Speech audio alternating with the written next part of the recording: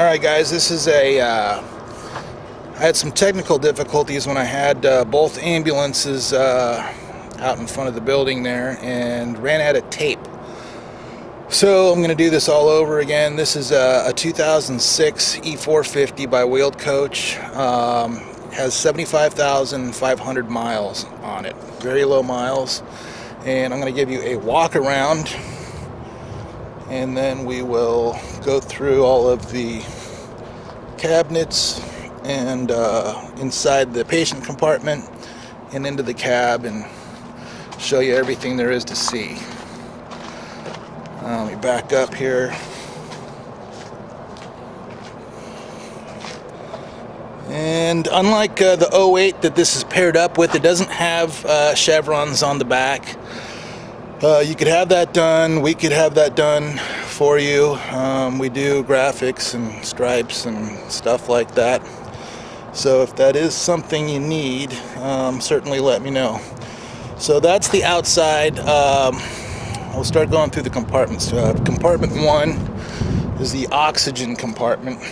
And you can see there's a rack in there that'll accommodate an M tank or full-size H tank. Right now I just have a tiny test tank in there to uh, show you that the oxygen system works. Um, there's that. This compartment here is for uh, whatever you want to put, extrication equipment, uh, restock supplies, uh, more EMS gear. Nice roomy spot. This is the backboard compartment.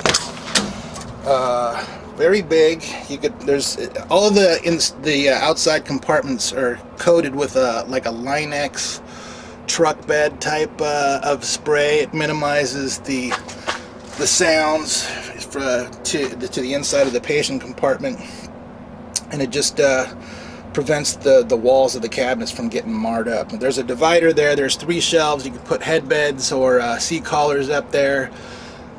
Uh, and it's large enough to put several uh, backboards or a flat or even a scoop stretcher. There's that. The patient compartment. We'll go in here in a minute and I have to fire this thing up so we can get some light back here and whatnot, but let me finish going through these compartments. Down here is a space for uh, turnout gear, SCBA tanks, there's also a rack for three extra D tanks, oxygen tanks there. Up here, you could put, again, more turnout gear or uh, whatever you want to put. It's a good sized little compartment there. Of course, this is the side door to the patient compartment. Again, we'll go in there in a second. And then this is your compartment for uh, your jump bag, your portable suction, and your monitor, all that stuff there. Down below are the batteries and a pull-out tray. That tray slides out. And that is that. So let me fire this thing up and then we'll go in the back. I'll start showing you everything.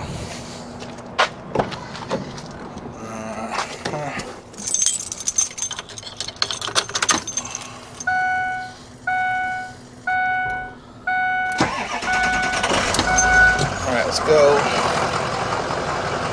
to the back. Okay, so let me get some lights going here.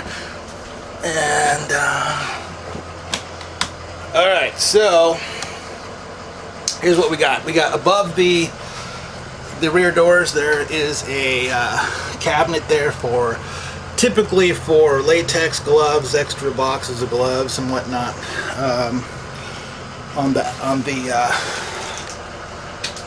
driver's side of the uh, rig, there's two large compartments there. There's two large drawers here. You can put dividers and stuff to uh, organize it however you want. There's that. Down here's a shallow space for uh, soft restraints or extra seat belts for the gurney or whatever you want to put. Excuse me.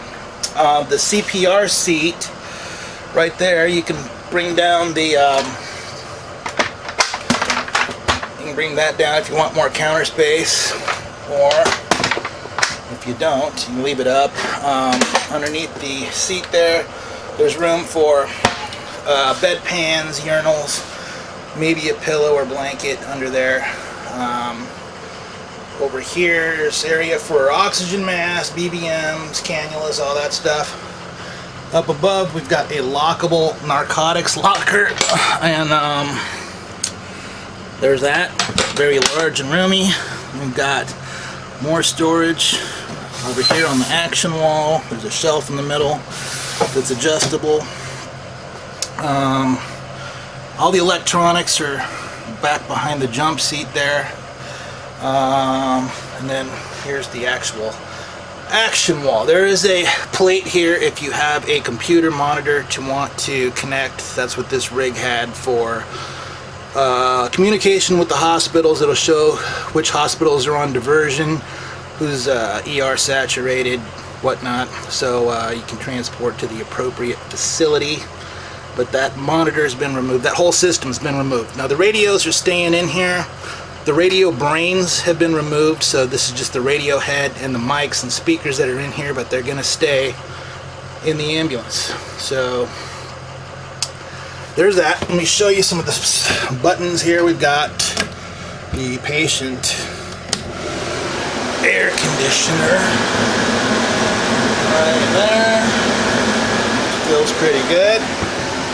And then you've got the variable levels of, uh, can barely hear it, but the low's pretty weak, medium's weak, high's the one that you would probably use most of the time. And then you got your uh, lights for high or low, and you know, there's the low, there's the high. On the other side, you got, there's the high, there's the low, there's that. Um, the exhaust fan, suck out fumes from over there. There's that. Uh, the suction. Um, show you that. You can see the needle moving there. And there's the suction.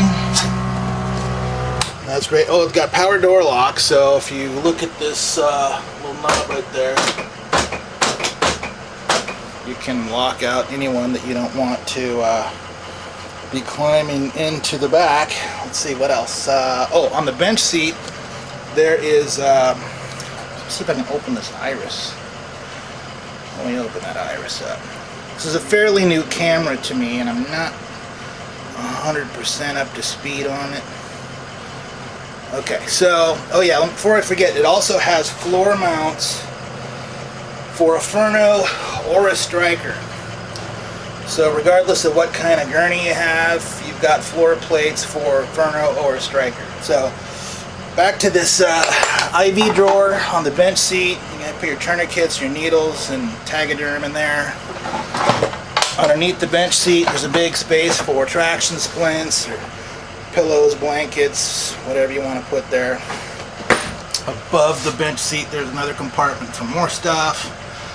Um, the upholstery is in great condition. There's no uh, there's no tears.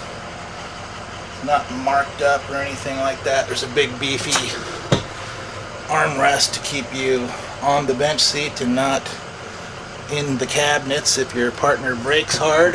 Um, there we got more drawers over here. There, that is a portable. Uh, that's a suction or a uh, charging station for portable suction for a score portable suction unit.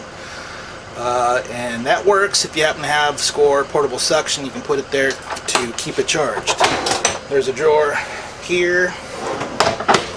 And then there's a large drawer here with a file rack so you can put patient care reports release of liability whatever forms you might carry in your jurisdiction. Now the jump seat is right there. It has the integrated child seat in there and it also swivels. So um, if there's a situation where you need to